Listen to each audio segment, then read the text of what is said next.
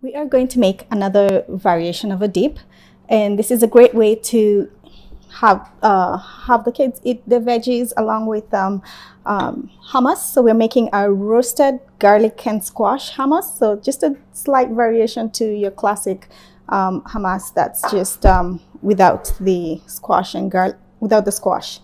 Um, so I have my chickpeas. I have roasted squash. I, squ um, I squashed it. I uh, roasted it along with the garlic. So I have my garlic in here. So that will be going into the food processor. We have our chickpeas.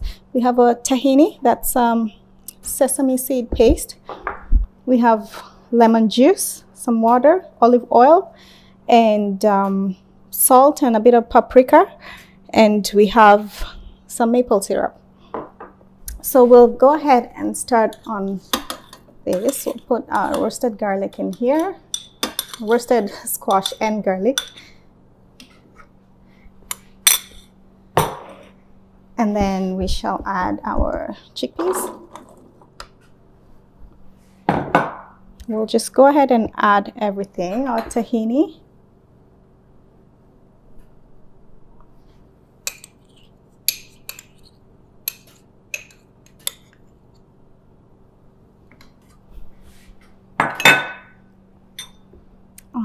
Add my maple syrup.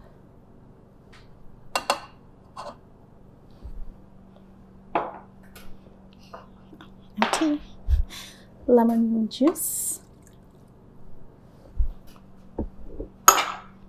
some water, and salt and paprika.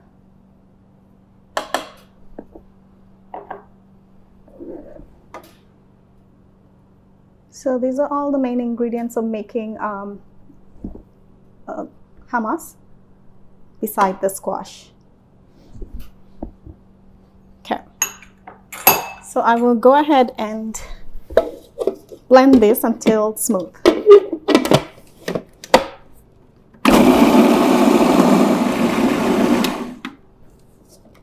I'm just going to get the sides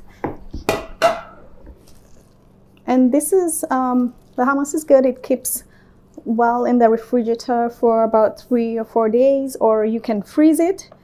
And you can, to make it even easier, you can uh, freeze it in small containers or in ice cube trays. Then that way it's ready to go when you need to pack a lunch.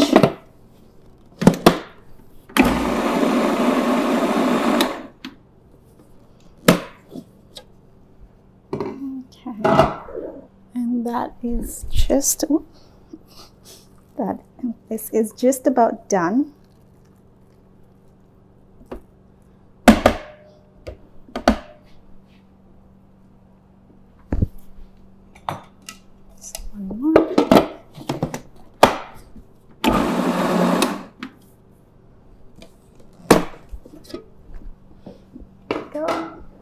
So our hummus is now done. Uh,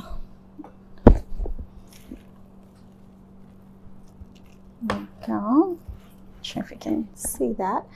Um, it goes well with any kind of vegetable. You can have your celery or carrot sticks and just pack that in a lunchbox with compartments and just have them individually um, individually packed and this is great wholesome uh, you have your protein from the chickpeas you have uh, squash has lots of uh, good um, nutrients, has some converts to vitamin A, some beta carotene in the squash. Lots, lots, lots of goodness in here.